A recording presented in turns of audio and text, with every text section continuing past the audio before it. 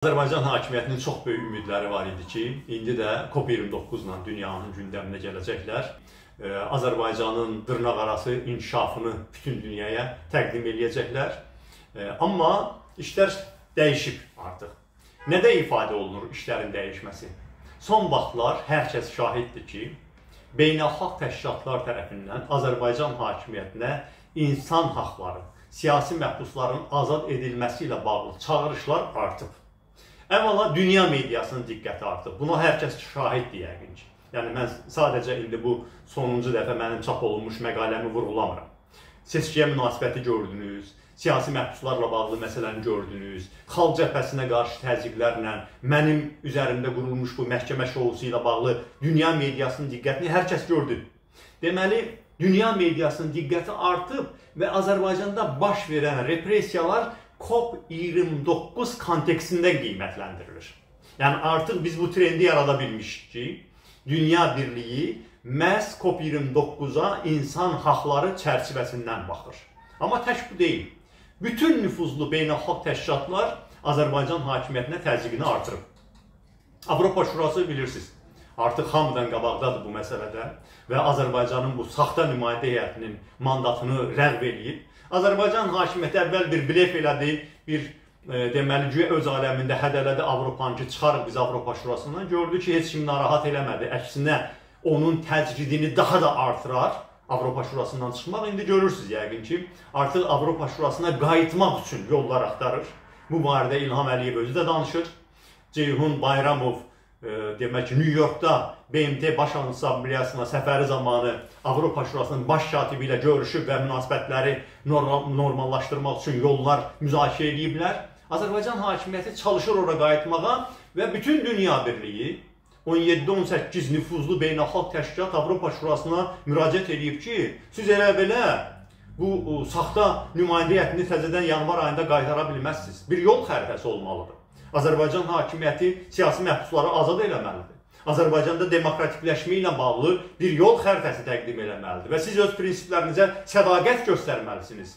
Və biz Avropa Şurasının, Avropa Şurası Parlament Assambleyasının rəhbər şəxslərinin açıqlamalarından da görürük ki, onlar prinsipial dayanıblar.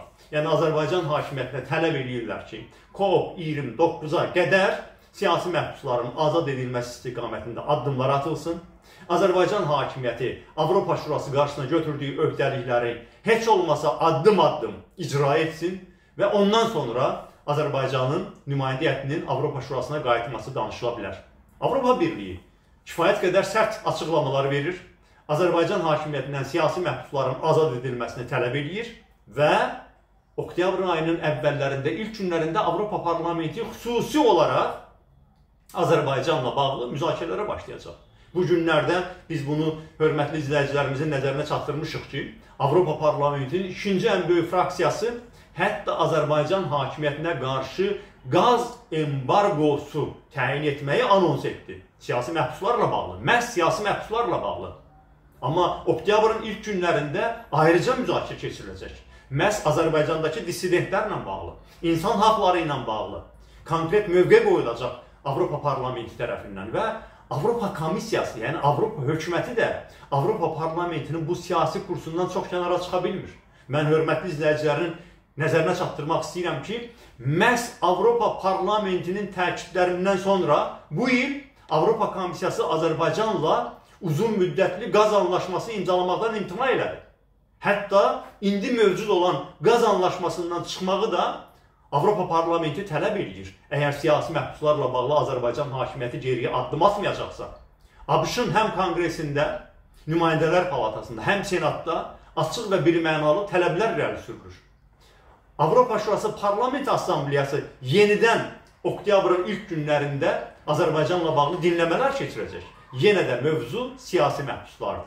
Beləliklə, baxın, Avropa Şurası, Avropa Birliyi, ABŞ-ın senatı və konqresi hamısı bu nümayəndəli parlamentar orqanlar Azərbaycan hakimiyyətindən COP29 ərəfəsi siyasi məhbusların azad edilməsini tələb edir. Sonuncu dəfə ABŞ-ın dövlət katibi Anthony Blinkenin İlham Əliyevlə telefon danışığında yenə də Azərbaycanda siyasi məhbuslar məsələsi vurğulandı. Azərbaycan hakimiyyətinin öz üzərinə götürdüyü beynəlxalq öhdəlikləri yerinə yetirməsi zərurəti vurğulandı. Yer gəlmişəm, bu çox yaxşı bir formulovkadır. Bunu tapıblar. Azərbaycan hakimiyyətindən tələb olunur ki, beynəlxalq birlik qarşısında üzərinə götürdüyü öhdəlikləri yerinə yetirsin.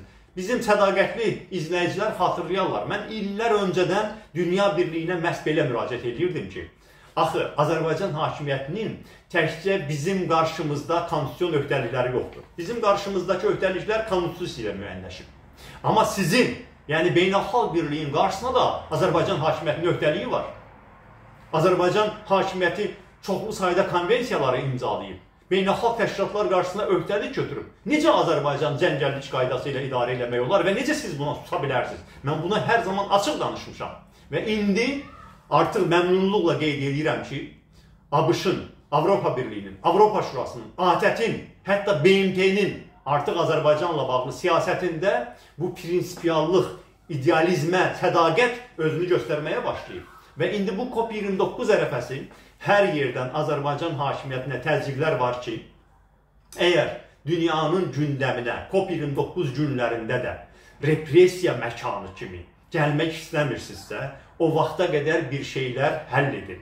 Hələ vaxtınız var, siyasi məhbusları azad edin. Və mən də bu məqamdan istifadə edib, bu fürsətdən istifadə edib Azərbaycan hakimiyyətinə deyirəm ki, bir mənalı şəkildə əmin olsunlar ki, əgər COP29-a qədər Azərbaycanda siyasi məhbuslarla bağlı ciddi, konstruktiv addımlar atmayacaqlarsa, buna görə özləri peşman olacaqlar. Çünki COP29-la bağlı Azərbaycana gələcək özünə hörmət edən siyasətçilər, diplomatlar, vətəndaş cəmiyyəti nümayəndələri, jurnalistlər mütləq Azərbaycandakı repressiyalardan bəhs edəcəklər və Azərbaycan hakimiyyəti yağışdan çıxıb yağmura düşəcək. Bu COP29-a ev sahibliyi etməyi üzərinə götürdüyünə görə peşman olacaq.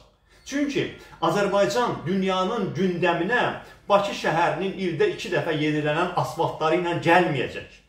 İndi bu sado əlavə xərc çəkib, güya özünüzü modern, müasir göstərmək üçün təcili qaydada düzəltdiyiniz velosiped yolları ilə gəlməyəcək. Dünyanın gündəminə 300 siyasi məhbusla gələcək. Mediası məhv edilməsi ilə gələcək. Müxalifətin məhv edilməsi ilə gələcək. Müxalifəti məhv eləmisiniz, sonuncu qalasında mühasirəyə almısınız, onu da hər gün məhkəmələrə çəkirsiniz, Ədliyyə Nazirliyi ilə problem yaradırsınız və Azərbaycan müxalifətinin də mövcudluğuna təhlükə yaradırsınız. Dünyanın gündəminə bu cür gələcəksiniz. Necə yəni 21-ci əsrdə üzərinə bu qədər beynəlxalq öhdəliklər götürmüş bir hökumət işgəncəni dövlət siyasətinə çevirib və Avropa Şurasının işgəncələr əleyhinə komitəsini ölkəyə buraxmır. Belə şey mi olar? Ona görə də işgəncədən əl çəkməlisiniz, siyasi məhbusları azad etməlisiniz, ümumiyyətlə ölkədəki mühit yumşalmalıdır, artıq başa düşmək lazımdır. Avtoritarizmin, tək adam hakimiyyətinin zamanı keçir dünya bütövlükdə artıq bu yoldan imtinaya doğru gedir. Baxın, bu yolun ən böyük bayraqları önündə gedən kim idi? Rusiya. Görün onun vəziyyəti nə yerdədir? Baxın, Rusiyanın yanında ən sədaqətli şəkildə dayanan avtoritar rejim kim idi? Belarus. Baxın, indi hər ay əf fərmanları verir. Heç kim də reaksiya vermir. 3 aydır dalbadal əf fərmanları verir ki, bir cığır açsın qərblə danışıqlara, amma heç kim ona salam da vermir. Tam təcrid olunmuş vəziyyətdədir avtoritar rejimlərin, tək adam hakimiyyətlərinin vaxtı keçib. Azərbaycan hakimiyyəti çox şanslıdır. Mən bunu hər zaman demişəm. Azərbaycan hakimiyyətinin bəxti güclüdür, çox şanslıdır. Bu qədər repressiyalardan sonra, bu qədər saxta seçkilərdən sonra, bu qədər korrupsiyadan sonra hələ də zərərin yarısından qayıtmaq şansı var. Ona görə də COP29-u öz əleyhinə yox, öz lehinə çevirməyə çalışmalıdır Azərbaycan hakimiyyəti. Niyə mən bunu deyirəm? Çünki bu bizim də xeyrimizədir.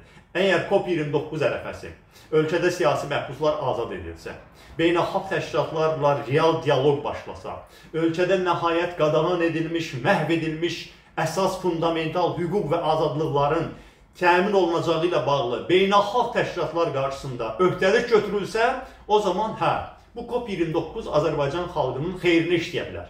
Əks təqdirdə bu COP29 Azərbaycan hakimiyyətinin onsuz da dünyada bərbad olan imicinin daha da bərbad olması ilə nəticələnəcək və sizi əmin eləyirəm ki, COP29-a ev sahibliyini öz üzərinə götürdüyünə görə Azərbaycan hakimiyyəti də peşman olmuş olacaq.